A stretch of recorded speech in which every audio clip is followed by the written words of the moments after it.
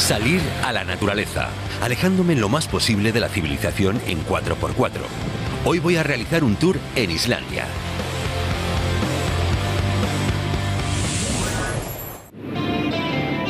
Desde Berlín vuelo a Reykjavik, la capital, y desde allí a Akureyri, al norte del país.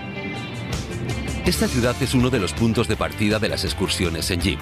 Tan solo tiene 17.000 habitantes y sin embargo es la cuarta ciudad más grande del país. Hans Hermann Rute viene a recogerme al aeropuerto. Este operador organiza tours en todo el mundo para la empresa Land Rover. Muchos fabricantes de 4x4, entre otros Volkswagen, Porsche o BMW, ofrecen este tipo de vacaciones. Es la publicidad perfecta para estas marcas. Tras pocos minutos abandonamos las carreteras asfaltadas y comienza la aventura. Nos sumamos a un grupo que lleva cinco días en ruta. Hay que pagar unos 3.600 euros por este viaje de nueve días y aún así siempre están llenos. Es como volver a las raíces, regresar a la naturaleza. En las casas todo es artificial, televisión, aparatos electrónicos, comunicación, todo es más rápido. Y sin embargo, todos buscamos un poco de paz, de tranquilidad, y aquí la encuentras en la naturaleza. Claro que se puede pensar que tiene que ver todo esto con un tour en un 4x4, pues cuando estoy en ruta puedo parar en cualquier lugar, disfrutar del paisaje y cuando vuelvo a casa estoy como nuevo. No podemos salir de la pista marcada porque las huellas de los neumáticos se quedarían marcadas durante años en el mineral volcánico. Durante horas no nos cruzamos con nadie. Y nos encontramos con cataratas espectaculares, solo para nosotros.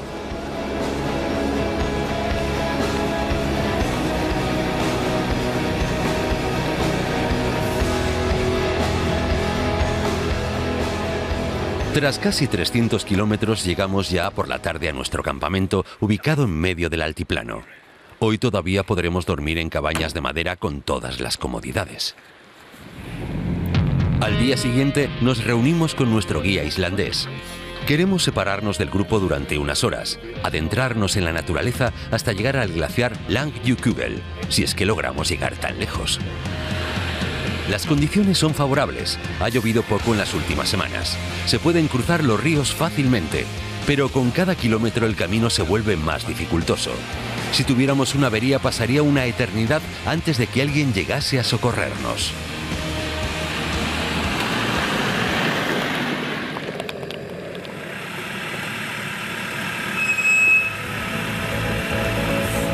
Finalmente llegamos al glaciar pero tras un par de metros nos quedamos atrapados.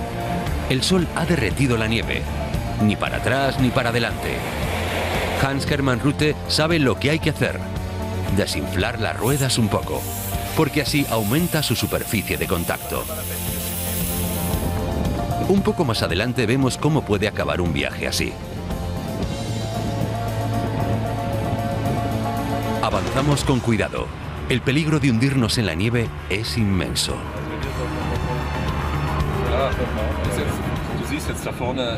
Poco a poco tenemos que emprender el regreso. Las recompensas son imágenes singulares. Cada pocos kilómetros cambia el paisaje. Continuamos, paramos, nos quedamos boquiabiertos. La belleza de la naturaleza nos embriaga.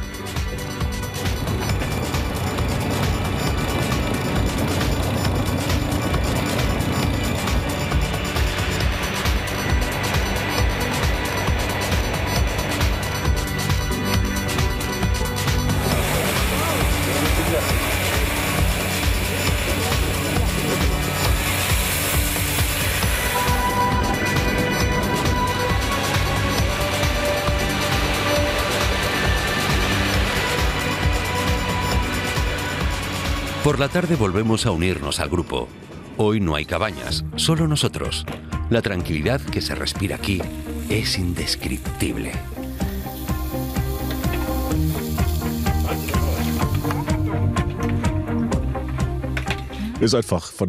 La naturaleza es increíble. nos proporciona mucha alegría. Nos gusta que los grupos sean pequeños y a veces también está bien que te lleven, saber que si pasa algo hay alguien detrás. Es magnífico. Ha sido maravilloso. No teníamos ni idea de cómo iba a ser. Ha sido muy hermoso ir a lugares a los que uno normalmente no llega. Sensacional. A cada minuto algo nuevo, algo maravilloso. Paisaje en estado puro. Me encanta. La naturaleza es mi vida. Y conducir estos automóviles que funcionan aquí es simplemente fabuloso. Solo naturaleza al alcance de la mano. Incluso a las 11 de la noche hay luz. A pesar del agotamiento, las noches blancas de Islandia no nos dejan dormir.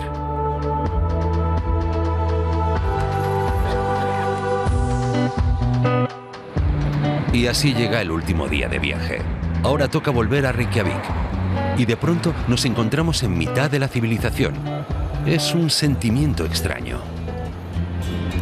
Es hora de enviar una postal a los compañeros de Euromax.